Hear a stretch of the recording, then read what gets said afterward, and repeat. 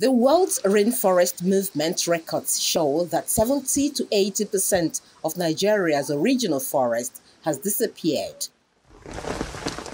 The implication is that many plants and animal species are on the brink of extinction.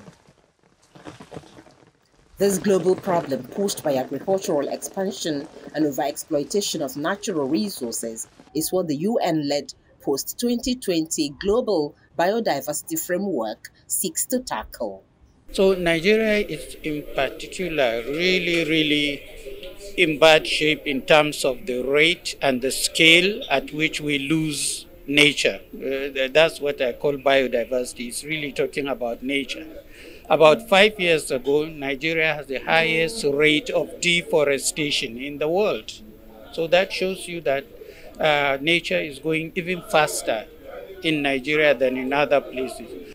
We want to avoid that. We want to ensure that man doesn't go into extinction. And that's why we are now raising awareness and raising the issues of the necessity to conserve biological resources.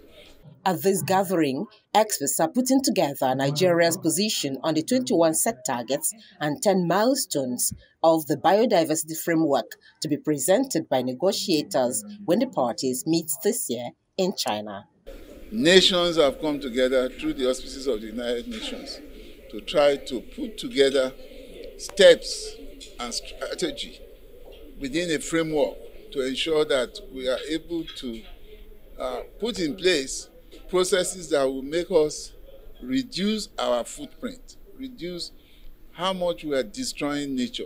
But also bring the private sector, bring uh, civil society, NGOs and grassroots organizations, and bring academicians so that it's an all of society thing, not a government or NGO or private sector. All of us Nigerians are now round the table discussing what should we be saying as Nigeria when our negotiators go to interact with other countries?